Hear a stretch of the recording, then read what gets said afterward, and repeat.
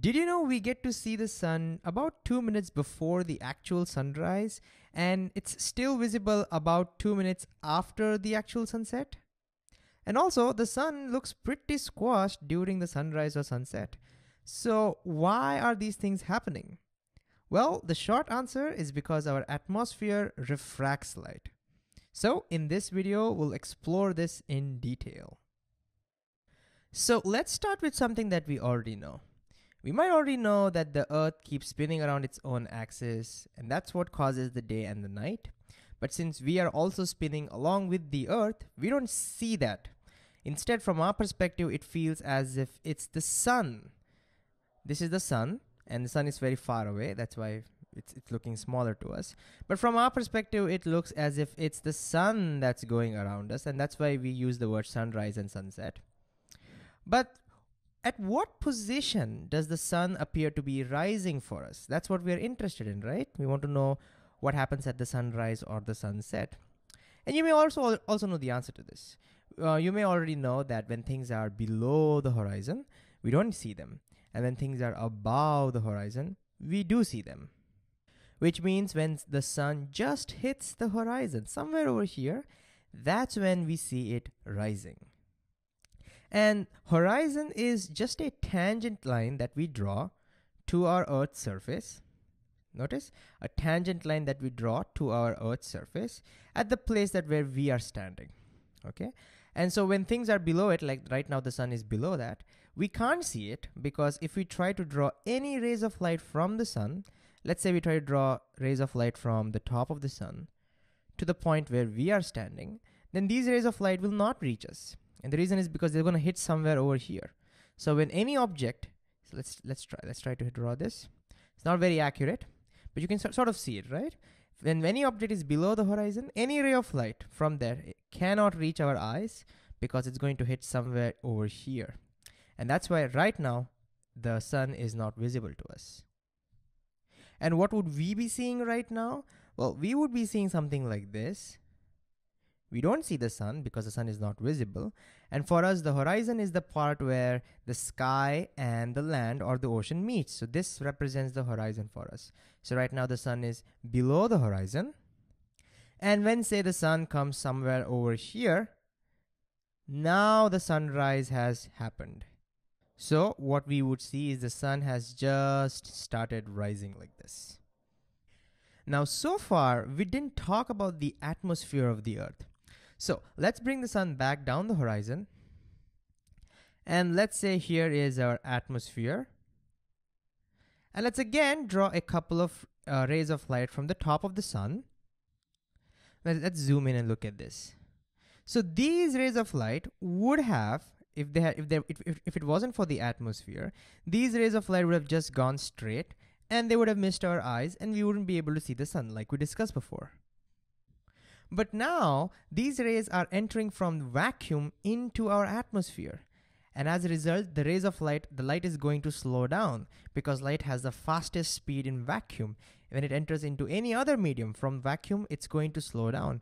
And because it's going to slow down, if we draw a couple of normals over here, this light will bend towards the normal. So if you see the refracted light, these are a couple of normals. Notice the light has bent towards the normal because it has slowed down.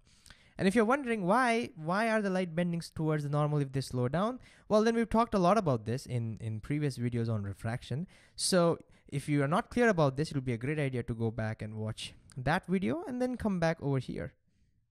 But now what's important to see is that these rays of light have bent down and so they will reach our eyes. And so to understand what we see now, we have to just backtrack these rays so it appears to us as if these rays of light are coming from, let's zoom out now, are coming from somewhere, somewhere over here, somewhere over here. And as a result, we will feel as if the top of the sun is somewhere over here. And as a result, we will see that sun somewhere over there. So that sun will look somewhere over here. And so notice even when the sun is below the horizon, because the rays of light are bending towards us, we see the sun above the horizon. In other words, In other words, even before the actual sunrise, we see the sun has risen. So because of the atmosphere, the sun is actually below down over here, but because the rays of light are bending towards us, right now we are seeing the sun somewhere over here. And that's why we say that the sunrise, we, we get to see the sunrise even before the actual sunrise. And similarly, this also explains why we get to see the sun after the sunset. Once the sun has set, which means it has gone below the horizon, because the light bends and appears to uh, reaches our eyes, because of that we still get to see the sun. And that's why the sunrise happens earlier and the sunsets are always delayed. And if you're wondering exactly how early or how delayed we see the sunrise or the sunset, then if we do the calculation, it turns out it's about a couple of minutes. So the sunrise, we, we get to see the sunrise a couple of minutes earlier, and the sunset will be delayed by a couple of minutes.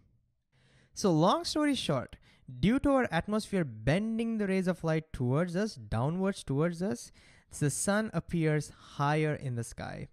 And this is not just for the sun, it will happen for any celestial body. So, for the moon or the planets or even the stars.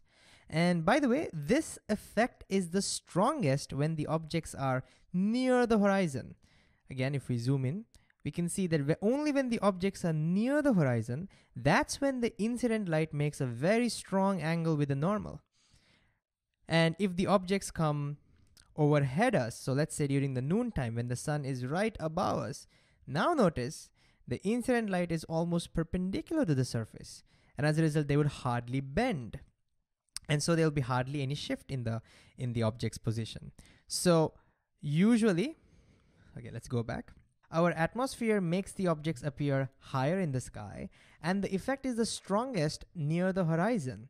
Or to be more specific the lower the object in the sky stronger is the shift in the object. Of course, if the object gets too low, then eventually the light will not bend enough to reach our eyes.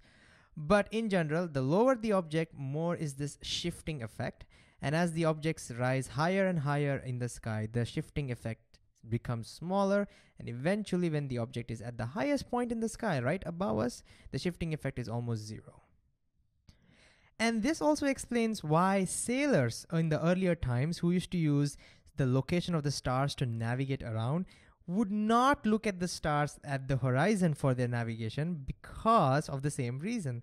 Because the stars, which are very close to the horizon, have a huge shift in their position, and so that would cause a huge error in their navigation. All right, so the last thing is why does the sun appear squashed during the sunrise or the sunset when it's close to the horizon? The concept is exactly the same. So can you pause and try and think about this for a while? All right, let's see. Now we know that the sun is actually below the horizon and due to the atmosphere it appears higher in the sky. But remember the effect is stronger as the objects are lower and lower in the sky. Just, we just discussed that. Lower the object, stronger the effect. Now, the bottom part of the sun is lower in the sky compared to the top part, isn't it? Because the bottom is lower. And as a result, the bottom part of the sun will shift a little bit more, or it'll appear a little bit higher in the sky than the top part. So the shift is not the same.